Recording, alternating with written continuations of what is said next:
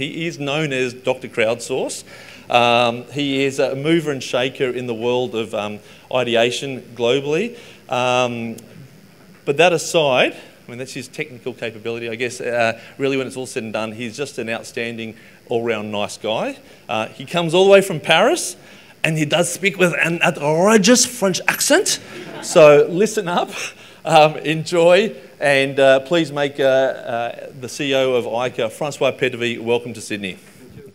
Thank you. Thank you, Phil. Uh, do you hear me? Yes, one, two, three. Well, fantastic. So I'm really glad to be here with you this morning. Thank you for, for coming. Um, uh, the idea this morning is really to share with you uh, the latest of what we are doing on crowdsourcing and what our clients, uh, how our clients are hacking the way they're doing marketing uh, to reinvent uh, this space. Uh, we believe there's fantastic opportunity in that world to, to first um, reinvent the way we do things, but also have a lot of fun doing it. So I hope I will be able to convey uh, that passion of, uh, of, what we do to basically change the way we think about the brands, uh, come up with ideas, and actually walk outside, lose the box altogether when we're trying to, to think uh, outside of it. So, uh, first of all, a few words about me. So, who am I? So, uh, this is me at the age of 18.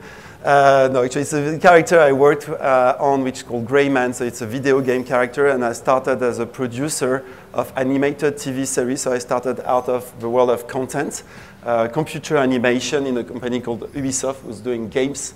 Um, and then I moved to the first wave of uh, digital agencies. So by the time we were calling that web agencies, if you recall that time, uh, called agency.com, uh, and bringing the brands, the first wave of brands to the internet in the late 90s. So we were doing websites and CD-ROMs, you know, if you remember that time. Um, and so that's where I met uh, fantastic brands and said I, I really loved uh, to help uh, build brands. Uh, and later on, I went to work for eBay. And at some point, I was one of the biggest car dealers in France, uh, selling a lot of things, antiques, etc., uh, running the, the, the platform in, in Paris. Um, and all these dots, right, at some point connected when I, I, I met uh, with eYeka and actually, eYeka, you'll see, is rooted in a community and a platform, and it connects together creativity and, and brands together. So uh, pretty much connects the dots, and that's why I'm so passionate about uh, this project and, and this company. Um, since then, so, um, uh, so I just started uh, around here in, uh, in the history of crowdsourcing. So the, the word was coined actually in 2006. Uh, people were doing it before calling that crowdsourcing before then. Um, since then, it's been pretty massive. And now if you, if you look at big brands, I mean, everyone has been or is, is doing crowdsourcing. It's like 90% of the top 100 uh, brands, when you look at, uh, at their activity, they, they're doing or they've been doing crowdsourcing.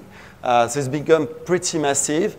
Interestingly, uh, FMCG um, was not the prime mover, so it's been more of a Samsung and the HPs uh, of this world doing it, but actually FMCG has become the, the biggest user uh, in that category, and we're going to see why.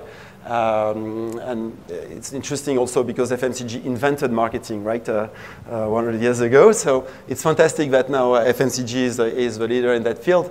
Um, and when you zoom into FMCG, what's also very interesting is that, and if you look at the top 15 uh, companies in the space, the adoption, and this is the number of briefs they, are running on specific platforms, you can see that this has been growing like 30% a year. So this is something that is getting a very fast adoption in the space. And now a lot of other industries are actually looking at FMCG as a role model and how do you embrace crowdsourcing. So you, don't be surprised in the example, you'll see a lot of uh, example in the sector uh, because that, that's where uh, a lot of the action is happening, uh, very interestingly.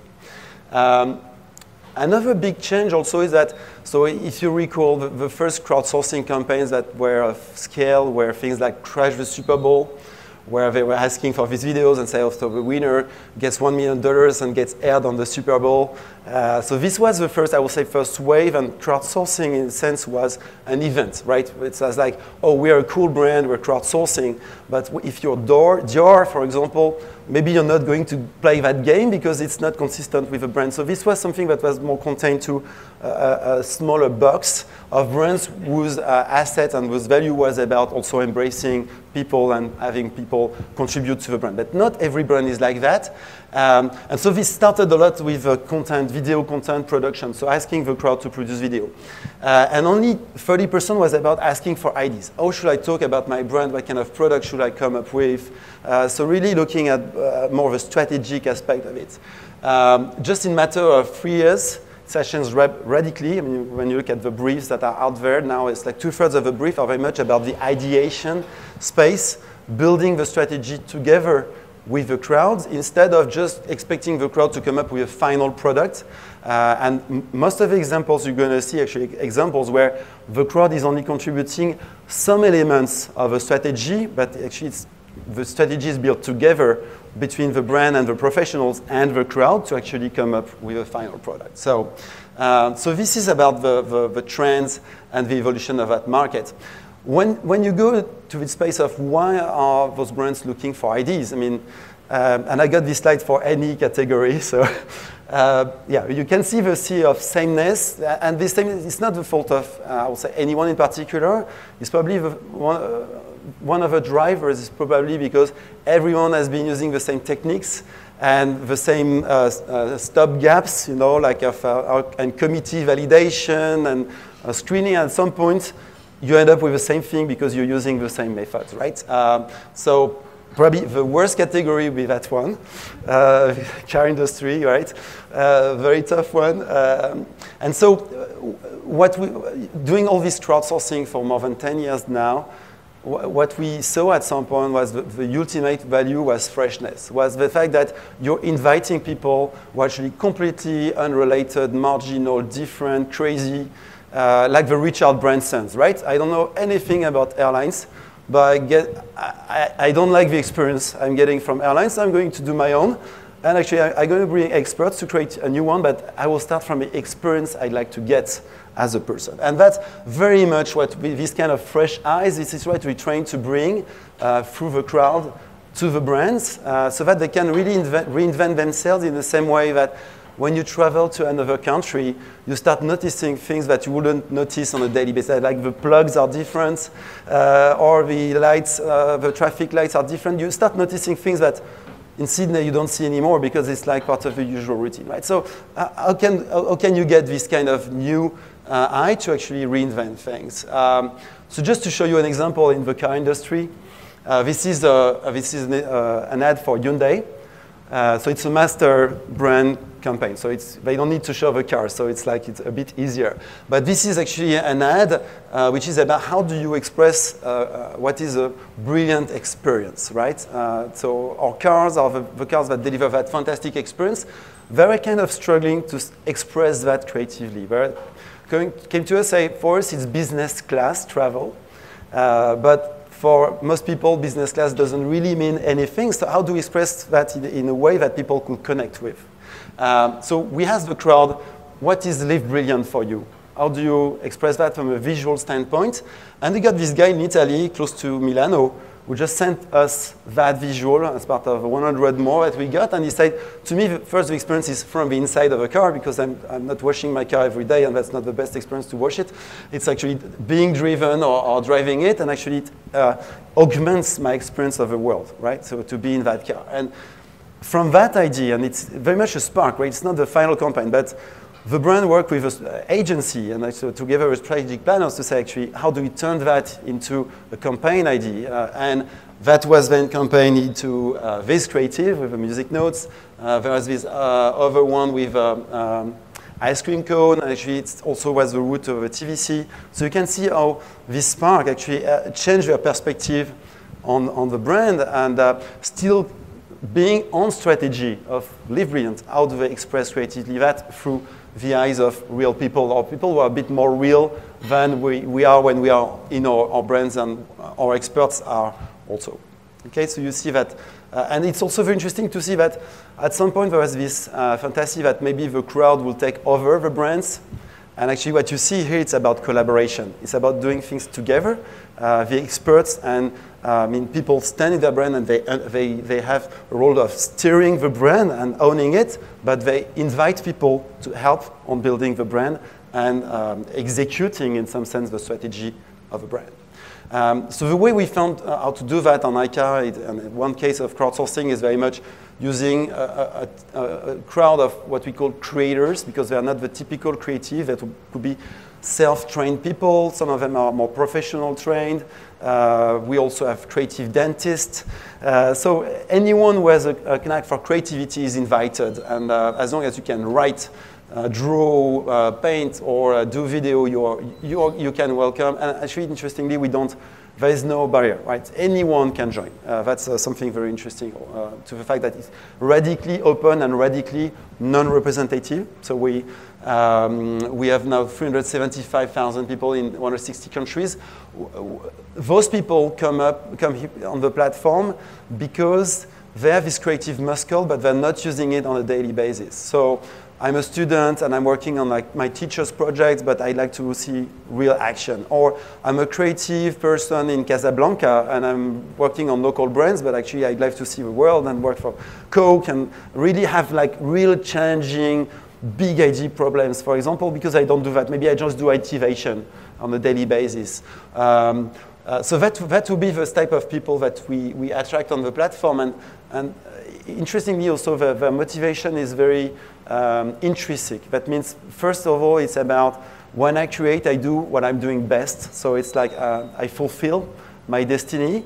And part of uh, what you're trying to do with them and, and, together with you, and what, what you do when you invite them into your brands, is to give them the opportunity of doing what they do best and express themselves and uh, improve themselves also because they are, it's rechanging, right? They are, they are going to be on front stage and, uh, and show uh, uh their skills and abilities and they learn out of it. Uh, and the last thing they look for is also is feedback because they understand that there are going to be 100 of them, and so not everyone is going to win. But at least they got feedback on what they've done, and they can measure themselves against uh, themselves and against others. So it's a very, um, uh, I would say, um, uh, generous approach they have because it's not about being paid, and actually you will see it's about competition. So people are not getting paid. Uh, only a few of them get actually getting an actual uh, monetary reward. It's about the emotional reward of uh, fulfilling your, your creative destiny. Also very interesting, these are people who see the future, and uh, we've, we've, done research um, with, uh, with academics on that. I mean, these are people who have the qualities of lead users. And creative people are people who are ultra sensitive, so they can connect with weak signals that, uh, we'll say, average people don't see. So they have an ability to predict the future in a very efficient way. Uh, and also, they have a future consumers. Uh, you can see this distribution. So this is a very interesting uh, target audience to work with. Um, one of the, also the things that is like uh, breaking a lot the conventions is the fact that um, they can be very relevant to people who are very far away from them uh, because they have the ability as creative people to connect uh, on a human basis uh, to human insights and, and truths. Uh, and so experience, for example, is that when we run a competition for a super local brand or even unbranded, and we ask, like, how do you um, help Chinese women uh, choose a cosmetics, right? Uh, or like a fragrance in a store? I mean, the best idea may come from France uh, because we, in the brief, we'll talk about the insights about the Chinese women, and people could connect because they say, yeah, my, my sister is like this, and I can understand that this is what I'd like to build for her. So 92% actually of, uh, of the people who get the best idea on our platform are not from the target audience, which is, I mean, when you talk to market research people, they're like, what? Uh, but so, and, and this is actually the value of marginality, right? Um, Einstein, he was a clerk, right? Uh, he was a notary clerk. Uh, so, and David Ogilvy, I think, was a salesman. He was selling cooking stoves, and re he reinvented advertising. So uh, it's very good to have people who are different uh, and bring them into your, your problem. Um, so very quick um, explanation of, of, the basics of how it works. And this is kind of um, what we found to be the unit of uh, unleashing creativity. It's, uh, it's very much about this competition model. Uh, and you find out in almost all crowdsourcing models is that it starts with a, a very sharp brief um, in terms of what you want to achieve, and that's very, that there you, you can leverage everything you learned about briefing agencies, and the, same rules apply.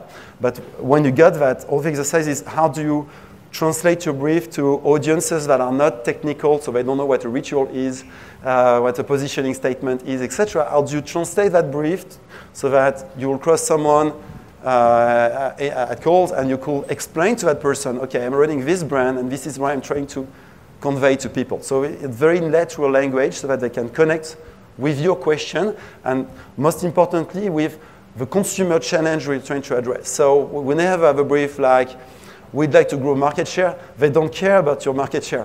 What they care about is actually, this is the job I want to do for you or for this person, and this is how I'm going to improve their experience or their daily life, or I'm going to explain to them why I'm so great for them, right? So that's the way we turn the challenges so that they rethink as consumers.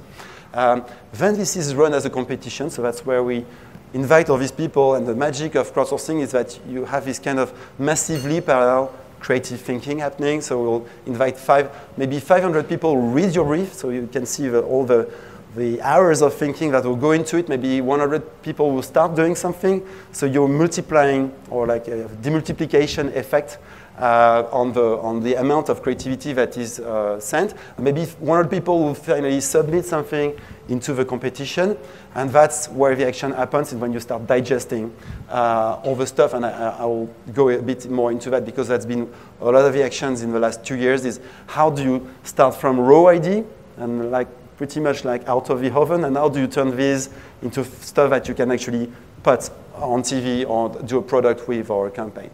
Um, lastly, there is an important aspect, which is that this is a fair system where IP gets transferred in the end, and so people get rewarded for what they transfer to you. So if there's a fantastic tagline, for example, will be paid for that tagline, so there are winners out of the competition. Um, what we learned in the past year, because we ran more than 1,000 of these, is that zooming out, and you won't be surprised as marketers, so the brief is the absolutely, like 95% of the quality of what we get is coming from the quality of the brief. So do you have sharp insights?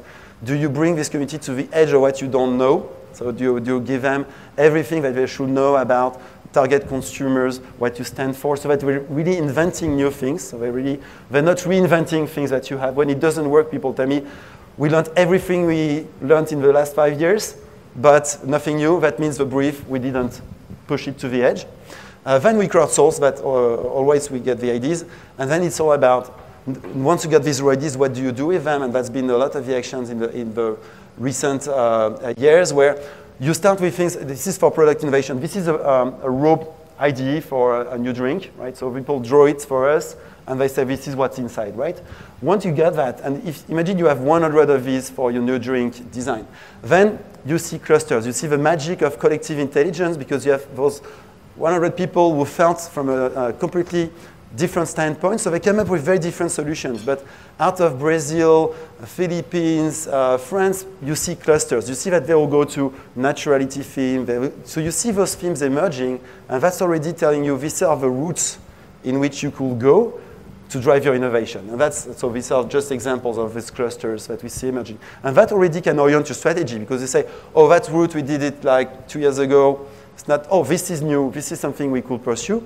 And then once you go into the root, then you can start taking those ideas and expanding on them. And so just imagine yourself going into a room, and the room is filled with like oh, 50 ideas of prototypes. Like, uh, and we're talking about MVPs. So it's like small prototypes, minimal prototypes that you, you can play with and your team and your colleagues can actually start bouncing on and come up with new ideas and twist and shake and add your own science to it. And actually, in the end of the day, you end up with maybe out of the 50, you end up with five concepts. But the five concepts, you actually raise the floor, right, a lot because you, you didn't start from a, uh, blank sheet or for all the same things that you always come up with in a, in a brainstorm, but actually from completely radically new stuff. And, and, and so you come up with much better ideas. In average, we can see that out of the five and the test, when they are tested, those ideas, we get a lot more incremental winners or success than uh, in the average process.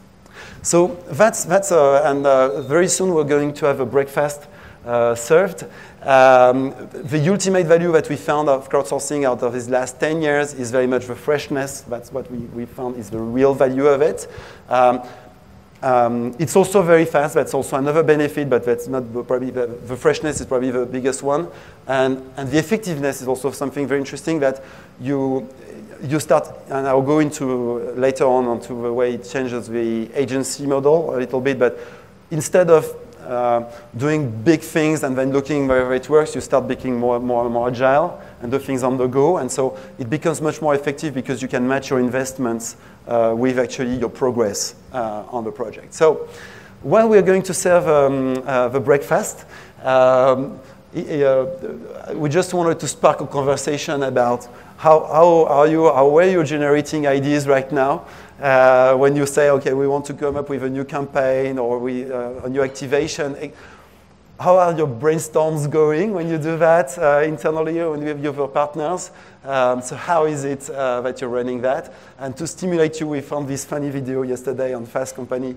Uh, just enjoy it. It's pretty, it's pretty good. So enjoy the breakfast and I'll be back soon. Uh, I'm going to go on a, a, few ones just to show you life examples, real life examples. Uh, and then we'll have Nadim will show you a real life example and something that, that you've probably seen in the market. Uh, so very broad applications. It can start very much at the front end process. Um, so for example, this is an innovation project we did with Procter & Gamble. Now we can share it. Um, by the time it was unbranded, the community didn't know um, uh, we, for which brand they were working on. And this was this notion that, and, and Procter & Gamble came to us and say, actually, we have fantastic technologies that we, so we can connect your toothbrush to the internet. We can uh, have uh, with 3D sensors. I mean, we have all this stuff, but how do we make solutions that actually are useful to people? Great question, right? So we said, okay, let's just ask the crowd. So we, we just imagine we, I give you a connected toothbrush. What would you do with it? What kind of service experience would you build with that? So that was the brief. And across a few weeks, we got all these concepts. So everything you see here is an ID from a community member. So for example, that ID is coming from China. And so it's uh, the person designed the PowerPoint, and it's like it's an app, and it has two modes. Uh, there is a serious mode. So the mode tells your doctor, your dentist, that you've been brushing your teeth 1 minute 20 in average. So, okay. Uh, and there's a fun mode that is like Guitar Hero for toothbrush. You see what I mean? So if you, if you do like my first sound was like like this, the music doesn't play. If you do like my other sound was doing like this, then music goes berserk. So you have to adjust your pace to the music and actually brush your teeth in the right way. Uh, so you see a theme like gamification emerging, right? You see, you see those mega themes emerging. Um, you have this uh, service which is about um, feedback. So, uh, for example, there is a segment of, I don't know many percent of people who are achievers. They want to have the best uh, uh, toothbrushing uh, level. So maybe a lot of Brazilians there. and, and this, for example, these ideas about I get feedback on how well I'm performing, for example, in terms of, and can I, do I forget some teeth or etc. Uh, this is the socialization of the experience. So this is a family competition, so between brothers, who's, who's brushing that is the best way. So it's like almost a social network around toothbrushing for the family, and uh, with uh, uh um, also challenges, etc. So when you take all these ideas and you put them on the table, uh, you see five themes emerging. You see uh, content. Two minutes is very long. Can you give me content to make it more entertaining? You see gamifications. Give me a challenge so that tomorrow I do better than yesterday. Um, you see the importance of feedback, etc. And so all these themes actually you can match. Uh, so these are consumer needs, and you can match them with technical capabilities. And so what Procter did is that first they launched an app. So they didn't have a chip yet. So they said, okay, let's launch an app on the iStore, and the app is going to listen to the noise of your toothbrush. And actually, they could already do a bit of, um, uh, of duration, so the serious mode and some content. Then they say, okay, now the engineers have come up with a chip, so we have a first connected toothbrush. So the toothbrush connects to Bluetooth to your smartphone and gives you a lot more, because now I can uh, have a much more deeper information about your patterns of using the product. Later on, they launched, for example, recently the 3D product that tells you uh, which areas of your mouth you've forgotten. So that will be the feedback. So you can see that they had a roadmap for four years of innovation, consumer-led. So, and when they do that, part of the rationale is to say we build it with people. So our risk to launch this innovation is much lower because actually it comes from the horse mouth. So it's uh, much better chances to succeed than just being our ideas and doing it with people. Um, Um, to show you a product on food, so we do a lot of innovation in foods. For example, this is the brief uh, we got with Mexi- uh, in Mexico with Doritos. Uh, so it's a love brand there, and it was about how do you reinvent. What is the next wave of Doritos, Doritos products that will deliver something that other chips don't deliver to you, right? Something unique, uh, still keeping the, the triangle DNA, uh, and lots of ideas. One of the ideas was this kind of uh, lucky blue. So it's notion of inside the pack, there is one or two chips that make your tongue blue. And so I had the gamification experience and the sharing element, right? You, take one, take one, who's going to have the blue tongue so you can create games. And actually that became the Ruleta del Diablo product. So it was a, a, a seasonal product. They launched it they, they did uh, some promotions. There's a lot of uh, uptake on social media because people are saying, oh, I got my blue tongue, etc. So it has also uh, a lot of talkability elements. And so that was, uh, and this is just one of the products because they have some products who are uh, more R&D intensive to come up with. But uh, this is the type of application of an ID. And probably things that they would not have felt spontaneously uh, about. So, Ruleta del Diablo, I love it. Um, lots of packaging also, uh, things that, how do you trigger conversion on the shelf? So this is a project with, uh, and also the fact that great ideas can come from anywhere. This is a brand in Eastern Europe, and they're uh, one of the leaders in uh, instant coffee uh, there. Um, and in Eastern Europe, you have all these flavors, right? You have like dozens of flavors, so you have a shelf problem because you have to differentiate all, all your line on the shelf and still convey a brand essence in that packaging. So they just had uh, conversion, a new big idea that was about uh, sensuality in coffee. Um, and so what we asked the community was how do you express that through packaging? Lots of packaging. That idea came from a US designer uh, she's a person, she lives in Napa Valley. She's a very strong designer. She's just said, I, I'm stopping to do the, take the road every day on uh, 101, and actually I'm going to work from home. She's, every morning she goes on IKEA and other platforms and uh, own clients, and she just creates uh, things. And so she said, I love this brand, very interesting. She came up with that idea, and that idea was then finalized with uh, professional designers of uh, Don Cafe. This is a product on my, on my table, and this is a product as it's been launched locally. So you can see of the global inspiration, basically, um, uh, there's still some finalization. So for example, the texture is a bit different here. They, they tweaked some stuff, but the essence of the creative idea um, has remained uh, and worked very well in Eastern Europe. Uh, communications is also something uh, that we do a lot. And again, it's very much the power of the ID. And, and you can see how the IDs can then translate into actual material. So this is some work we, we do with Duracell. Uh, Duracell, they're really trying to ladder up from very functional like, okay, it lasts longer, okay, but why? Actually, it lasts longer, but it helps you connect better to your passions, like music, entertainment, uh, sports, right? So if your batteries, uh, if your devices last longer, you can have a longer run, right? So how do you connect the bunny and Duracell together with sports? So that was the question. Like, create, give me a poster ad, basically that's what we ask, where uh, it empowers you to enjoy your running longer. And so this is, for example, one of the ideas that we got, right?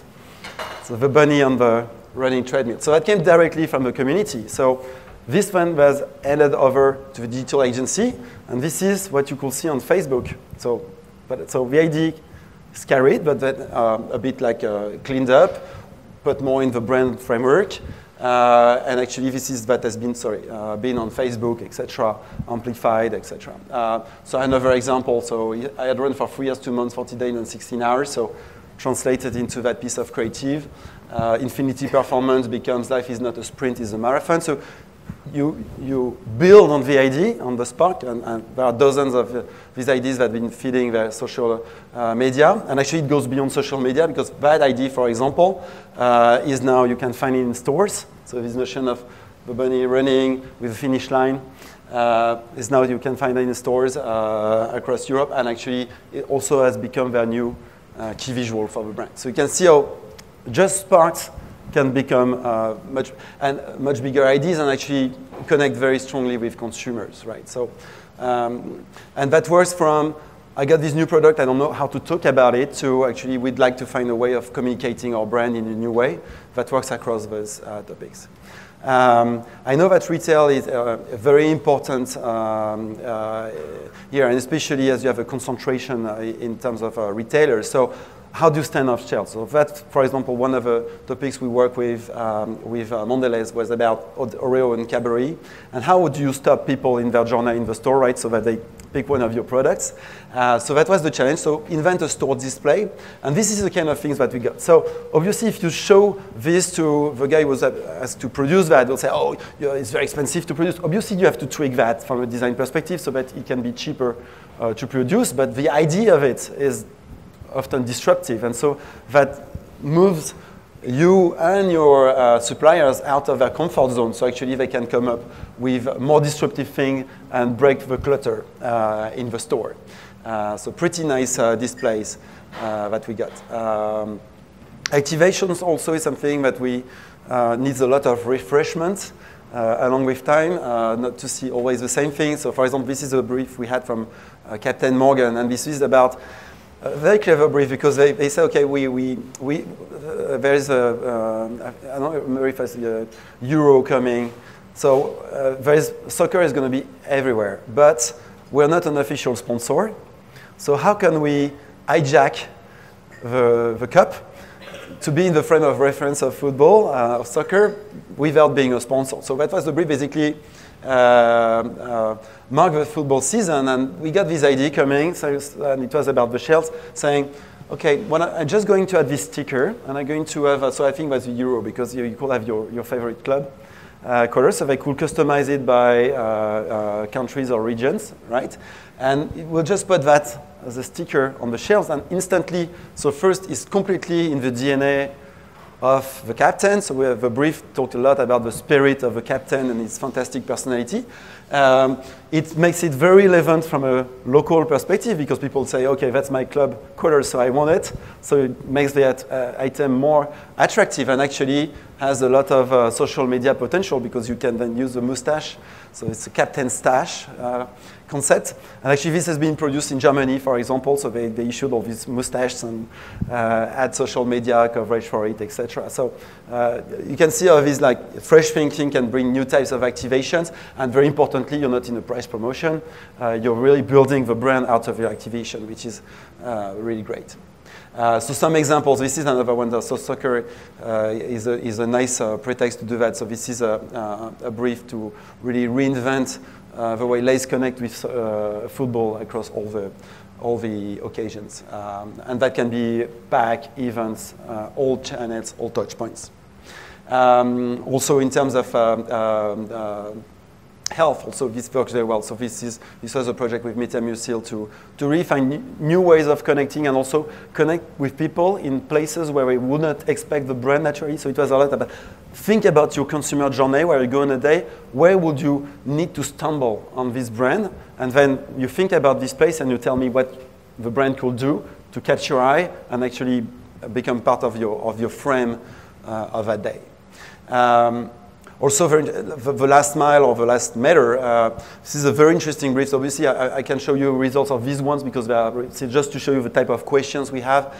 Uh, it's a question about like, the, the Coke and McDonald's partnership, and it's very much how do we make sure that every time someone goes into a McDonald's, they get a drink?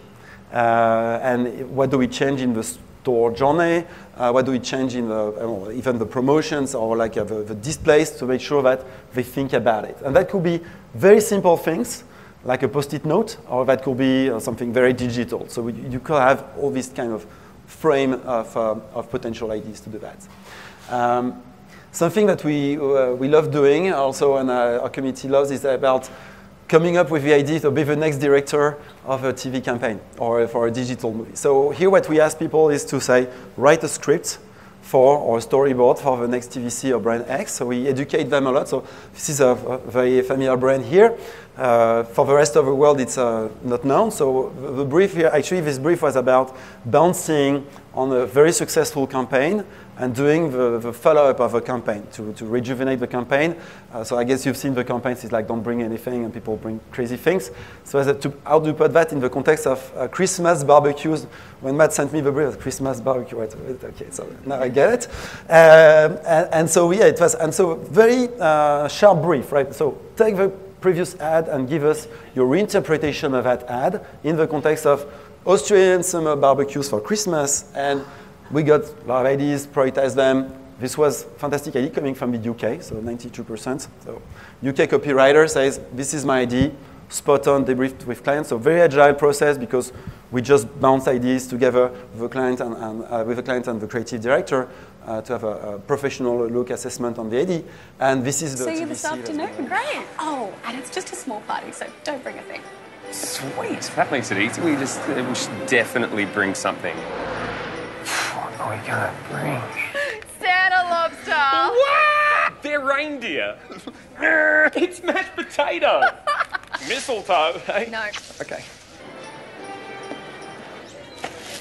You shouldn't have. Ah, yes, we should. Cadbury favourites. What to bring when you're told not to bring a thing.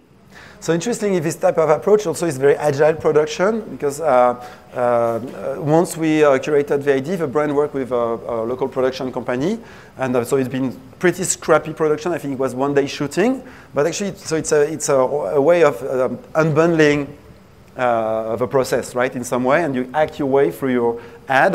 Um, and that's very efficient in terms of timing and budget, obviously. So obviously, that challenges the agency model, right? So how, what do we do uh, with agency of record, etc. And uh, you'll see our view is very much that this is about collaboration and not uh, that much competition. And crowdsourcing is a catalyst to the process because if you look at the traditional process, it's very iterative, so you have to invest a lot of money at every stage, right? And you kind of uh, progress your way. So say, okay, we believe in these two ideas. Okay, pick one, test. Okay, not perfect, and then and you iterate and you spend money. And during that time, competition is doing other stuff, um, and uh, so it's it's uh, it, and it can last I mean months, uh, sometimes years. For uh, I've heard for some brands. So what crowdsourcing does, it like it shortcuts that process because you collapse that stage uh, because you put and provided you get a good brief um, and that's a very important aspect with good insight then you, you, put all the ideas on the table at once and you curate you navigate your way through these ideas and, and Nadim is going to share it with you uh, how he did uh, in a real scale. Uh, and then once you, you refine and actually you're you're really confident on the one ideas and actually you can test them etc uh, then you can launch and, and what we see in average is that probably the results of will be 20 to 30% more efficient because they're just simply out of mathematics. You've put much more creative brains on it. Um, and you know, it's, it's a, as one of my clients saying, statistic, a statistically much better way to source creativity, right? Um, just uh, out of it. And also you're doing that with people who have passion to doing it and who are not, I will say, kind of forced because they, they, like, they have to go at 9 a.m. and work on this brand. They choose to work for the brand, which is also a very interesting, that, where you need to have people who are really professionals in when you do this because that's where you need to be really much in the frame and get things right. So interestingly, what we've seen is that this is, um, and crowdsourcing is uh, becoming a catalyst of a, a very wide ecosystem of people uh, who are actually using this tool to actually come up with uh, new processes, new creative process, new products. So people in the market research space, for example, for innovation, uh, where they're building end-to-end. So for example, uh, Kantar has launched uh, something called Seven, which is an end-to-end process that gives you innovation concepts in seven days using eYeka in the weekend. So we, they, get, they draft a brief on the uh, first day, then on the weekend, the community gets 50 ideas, and then on Monday, people have workshop, and on Thursday, you get concepts validated. That's just an example. So this is the type of things we're building in the creative space. Uh, you see example with Unruly. Uh, we have people in the consulting space, for example, looking at what is the future of banking, and can we crowdsource the vision of uh, how could a bank be as easy to use as Amazon, for example, or insurance. Um, and also you have like new types of agencies. So these, these crazy guys here, they're an agency in Denmark. Denmark. They created an agency with six people. So they all have very strong background in agency world. Uh, the creative director is the guy who did I'm a Barbie girl, if you remember. So he's like very, very strong creative guy. And like, there are six people in the agency, and they don't have a creative team. They, the creative is the crowd. What they do is they, they are very strong in strategy. So what how do we drive a brand and planning and managing production execution with an ecosystem. And they're like kicking us in, uh, in uh, Denmark right now. So it enables new models, and actually that's part of uh, a very exciting thing is that we, we all get to invent these new models together, and it's all about co-creating these models uh, to, to come up with the, the next way of doing marketing and innovation. So just to show you a last example, and that one is very interesting because it shows um, um, within P&G was a culture of working with uh, legacy agencies and AORs for like, like 25 years for some cases, how they came up with this chemistry of having a crowd collaborate with the agency, coming up with a real uh, integrated 360 campaign in Japan uh, last year. Um, so you're going to see uh, what the client tells about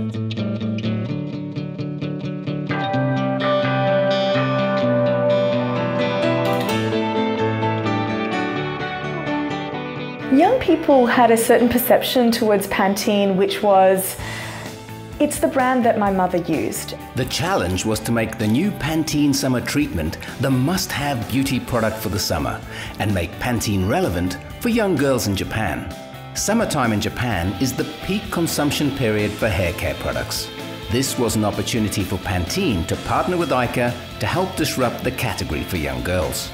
The eYeka contest generated 280 entries from over 42 countries.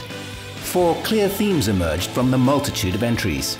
This output was further taken to a co-creation workshop between the creative agency, P&G and eYeka to shortlist and improve the best ideas for execution. And the winner was we picked up an idea that was uh, around summer hair rescue. And it was the, the visual that we used to talk about it was almost Baywatch for your hair. The winning entry inspired the agency to develop the campaign idea around Rescue Your Hair in Summer. A TVC was developed based on the idea of a face-off between a lifeguard whose hair is as shiny and healthy as a high school girl. The co-creation workshop also helped to make the ideas more holistic, taking it across touchpoints. A beach-like setting was created in central Tokyo, where rescue lifeguards analyzed girls' hair and gave out samples. Social media and PR helped create further reach and talkability. The results? Very, very good results, and um, both in terms of sales and equity. Number one in treatment category, 77% of promo pack buyers were new trial, 109 sales index, 203% exposure versus target. I definitely work with eYeka again. The use of visual metaphors to tell our ideas were really fresh ways of thinking um, that made us come up with, um, with a holistic plan that was much more interesting and relevant to young consumers in Japan. Here again, the idea was coming from Indonesia to convince a Japanese girls. So, uh, that's, that's, a, that's a nice example. Um, um, Matt, Phil, and I were also marketers. So when, when we knew we were going to organize this event, we felt, okay, so what are we, how do we position that event, right? So, so and just to show you, um, so we, we take our own medicine. Uh, we say, okay, let's ask the crowd, right? So we, we put a brief on the platform. I say, uh, how do you convey this notion that if you're running a brand, I mean, fresh ideas is the essence, right? It's more important than ever. So we ask the crowd, we run our own contest, so, and you can see it works on like, uh, even like less known brands like eYeka, and we got this idea. See? So yeah, so it's also, yeah, so so that's coming from the crowd. So, um, so thank you very much. Um, we'll take questions uh, in the end, uh, if you're okay with that, um, after Nadim's presentation. And so, uh, yeah, no, we know Nadim is going to show you in action and uh, in market uh, a real life example.